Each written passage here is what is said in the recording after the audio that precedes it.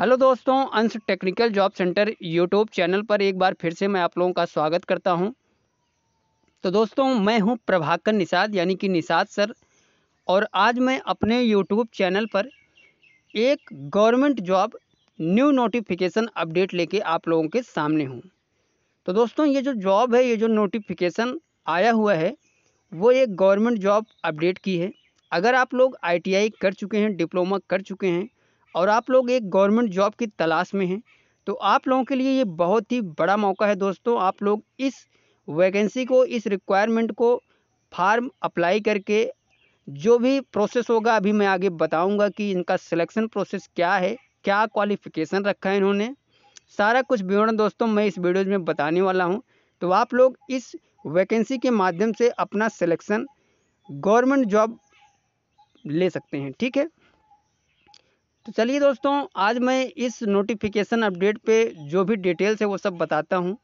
ये जो रिक्वायरमेंट आई हुई है दोस्तों, वो आई है बी ई एल यानी कि भारत इलेक्ट्रिका इलेक्ट्रॉनिक्स लिमिटेड तो दोस्तों, बहुत ही बड़ी रिक्वायरमेंट है, भारत इलेक्ट्रॉनिक्स लिमिटेड है, जो कि एक government of India enterprises under the ministry of defence यानी कि ये जो बी ई एल कंपनी है दोस्तों भारत इलेक्ट्रॉनिक्स लिमिटेड, ये भारत सरकार रक्षा मंत्रालय के अंतर्गत आती है। तो दोस्तों, अगर आप लोग भारत सरकार रक्षा मंत्रालय के अंतर्गत बी ई एल कंपनी में जॉब करना चाहते हैं तो आप लोग इस वीडियो को लास्ट तक ज़रूर वॉच करिएगा।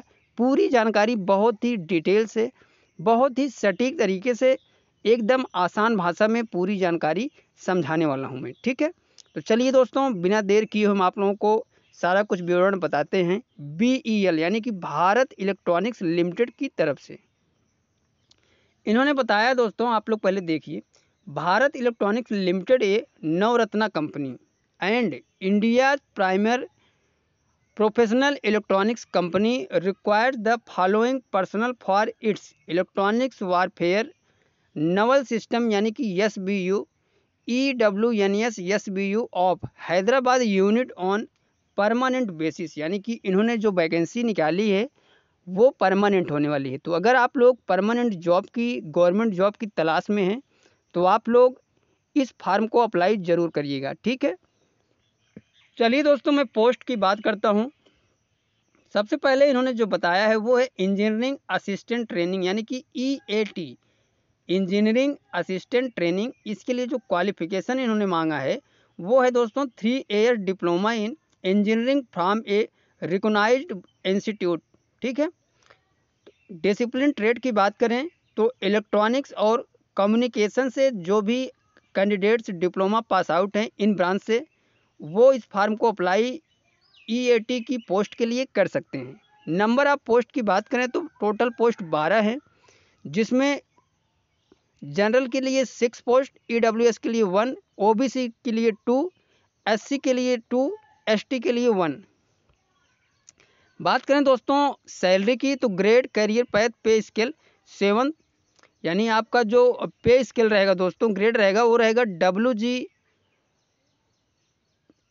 seven C P six pay scale R S चौबीस हज़ार पाँच सौ रुपये से लेकर नब्बे हज़ार रुपये तक आपको पेमेंट इस कंपनी में, इस जॉब के लिए मिलने वाली है। तो बहुत ही बड़ी वैकेंसी है दोस्तों, बहुत ही अच्छा मौका है।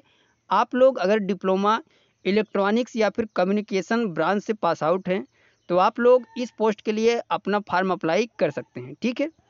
आगे बताते हैं दोस्तों, हम टेक्नीसियन सी, जिसके लिए कि जो क्वालिफिकेशन रखा है, वो है आईटीआई।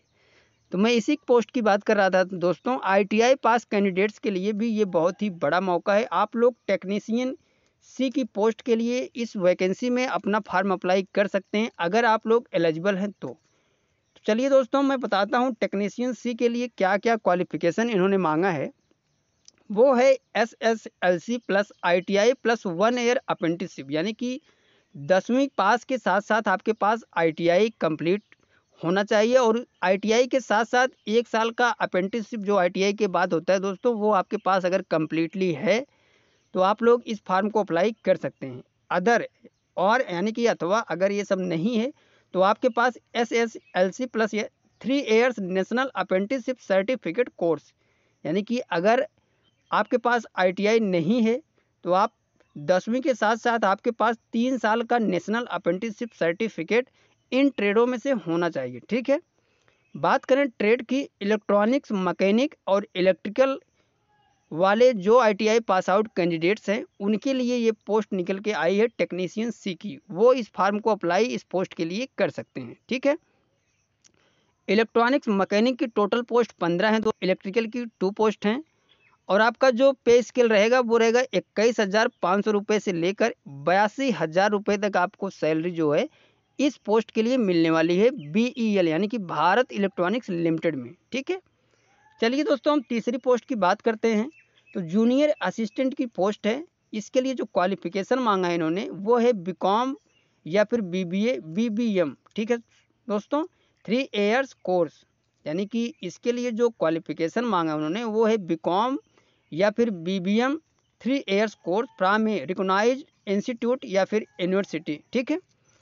इसके लिए जो ब्रांच है इन्होंने, बताया वो है बी कॉम या फिर बी बी एम तीन पोस्ट है टोटल और आपकी जो सैलरी रहेगी, वो रहेगी इक्कीस हज़ार पाँच सौ रुपये से लेकर बयासी हज़ार रुपये तक, ठीक है?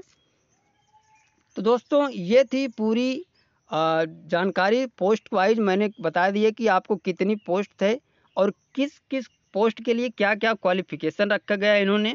सारा कुछ विवरण बता दिया हूँ। आगे मैं बने रहिएगा और भी बताता हूँ कुछ ज़रूरी इंपॉर्टेंट चीज़ें जो हैं, वो मैं उस पर बात करता हूँ। नेशनलिटी की बात करें तो candidate must be citizen of India, यानी कि इंडिया के ऑल ओवर इंडिया से आप किसी भी स्टेट से हैं, आप इस फार्म को अप्लाई करने के लिए एलिजिबल हैं, ठीक है? पोस्ट की बात करें तो एज लिमिट की बात करते हैं ईएटी के लिए 28 साल, टेक्नीशियन सी के लिए 28 साल, जूनियर असिस्टेंट के लिए 28 साल, यानी कि तीनों पोस्ट के लिए जो एज लिमिट रखा गया है, वो है 28 ईयर्स ठीक है? आगे बढ़ते हैं दोस्तों, हम आपको दिखाते हैं एज लिमिट में जो गवर्नमेंट रियलाइजेशन होता है अपर एज लिमिट में, वो है अदर बैकवर्ड के लिए तीन साल एस सी के लिए पाँच साल और पीडब्ल्यूडी के लिए दस साल। ये छूट गवर्नमेंट रूल है दोस्तों, ये आपको एज रियलाइजेशन में अपर एज लिमिट में मिलता है छूट, ठीक है? आगे बढ़ते हैं दोस्तों, एजुकेशन क्वालिफिकेशन की बात करें तो इन्होंने बताया है आपका जो ई e के लिए जो पोस्ट है, इसके लिए जो मिनिमम परसेंटेज मार्क्स होने चाहिए जो आपके क्वालिफिकेशन में वो हैं जनरल और ओबीसी और ईडब्ल्यूएस के लिए साठ परसेंट एस सी और पीडब्ल्यूडी के लिए पचास पोस्ट। टेक्नीशियन सी के लिए जनरल, ईडब्ल्यूएस, ओबीसी के लिए साठ पोस्ट और S C S T P के लिए पचास पोस्ट। ठीक है? तो पचास प्रतिशत अंकों से अगर आप लोग S C S T P W D वाले candidates I T I pass out हैं तो भी आप फार्म अप्लाई कर सकते हैं। और अगर आप लोग जनरल ई डब्ल्यू एस और ओ बी सी में आते हैं तो आपके पास आई में कम से कम जो मिनिमम मार्क्स होने चाहिए, वो साठ परसेंट से कम नहीं होने चाहिए, ठीक है? जूनियर असिस्टेंट के लिए भी सेम मार्क्स हैं दोस्तों। General E W S O B C के लिए साठ प्रतिशत मार्क और S C S T P W D के लिए पचास प्रतिशत मार्क होने चाहिए। अब बात करते हैं दोस्तों एक्सपीरियंस की। तो कोई एक्सपीरियंस मस्ट नहीं किया है इन्होंने। आप लोग बगैर एक्सपीरियंस के इस फार्म को अप्लाई कर सकते हैं। तो दोस्तों, आगे बढ़ते हैं। मेथड ऑफ़ सिलेक्शन की बात करें तो the candidate meeting the criteria will be provisionally shortlist for the selection process. The eligible candidates will be required to appear for return test for 150 marks consisting of, ठीक है? यानी कि आपका 150 number के जो है रिटर्न टेस्ट एग्ज़ाम होगा और अगर आपको उसमें जो पार्ट वन होगा, वो होगा जनरल अवेयरेंस का, यानी कि 50 मार्क का होगा जनरल अवेयरेंस। जिसमें आपको आएगी comprise of general mental ability and attitude to logical reasoning analytical comprehension ability basis numeracy data interpretation skill and general knowledge part two में आपका आएगा दोस्तों टेक्निकल ट्रेड एटीट्यूड जिसका जो टोटल मार्क्स होंगे वो सौ मार्क्स के होंगे और इसमें आपको टेक्निकल से, आपको ट्रेड से जो क्वेश्चन है, वो आएँगे। तो ये बहुत ही बड़ा चांस है दोस्तों, अगर आपका ट्रेड है, चाहे आप डिप्लोमा हैं या फिर बीटेक हैं या फिर आईटीआई हैं, अगर आप लोगों का टेक्निकल जो है ट्रेड है, वो मज़बूत है तो आप लोग टेक्निकल से ही अपना जो रिटर्न एग्ज़ाम है, वो क्वालिफाई कर सकते हैं, ठीक है? कैटेगरी की बात करें दोस्तों तो आपको जो एग्ज़ाम को क्वालिफाई करने के लिए जनरल और ओबीसी और ईडब्ल्यूएस को लिए 35 प्रतिशत मार्क्स पार्ट वन और पार्ट टू में लाना पड़ेगा, ठीक है? एस सी एस टी को पीडब्ल्यूडी को 30 प्रतिशत मार्क लाने होंगे पार्ट वन और पार्ट टू को मिलाकर, ठीक है? तो दोस्तों, ये थी पूरी क्राइटेरिया जो मैंने बता दिया आपको, क्वालिफिकेशन और रिटर्न टेस्ट में एग्ज़ाम के लिए कितना प्रतिशत मार्क लाने होंगे आपको, वो सब मैंने बता दिया है। आगे बताता हूँ दोस्तों, इस फार्म को अप्लाई करने के लिए आपको जाना होगा बी ई एल की मेन वेबसाइट पे, यानी कि W W W dot B E L dot G O V dot in पर जाएँगे। कैरियर पे जाना है आपको, वहाँ से ये लिंक मिलेगा। वहाँ से इस फार्म को अप्लाई आप लोग कर सकते हैं, ठीक है? तो दोस्तों, आप लोग इस फार्म को अप्लाई ज़रूर करिएगा अगर आप लोग एलिजिबल हैं और भारत इलेक्ट्रॉनिक्स लिमिटेड कंपनी में जॉब करने के लिए इच्छुक हैं, जो कि भारत सरकार रक्षा मंत्रालय के अंतर्गत तो आप लोग इस फार्म को अप्लाई कर सकते हैं, ठीक है? तो और कुछ जो भी डिटेल्स है दोस्तों, मैं आपको दिखाता हूँ और बताता हूँ अगर कोई ऐसी इंपॉर्टेंट चीज़ें होंगी। तो the last date for applying online ग्यारह सात दो हज़ार चौबीस, यानी कि आप लोगों को इस फार्म को अप्लाई करने के लिए जो लास्ट डेट है दोस्तों, वो है 11 जुलाई 2024 यानी आप लोगों को 11 जुलाई 2024 से पहले इस फार्म को अप्लाई करना पड़ेगा। अगर आप लोग परमानेंट जॉब की तलाश में हैं गवर्नमेंट जॉब की तलाश में तो ठीक है? तो दोस्तों, ये थी पूरी जानकारी भारत इलेक्ट्रिकल लिमिटेड कंपनी की तरफ़ से जो रिक्वायरमेंट निकल के आई थी, मैंने उसकी पूरी जानकारी आप लोगों को बहुत ही डिटेल से बता दी है।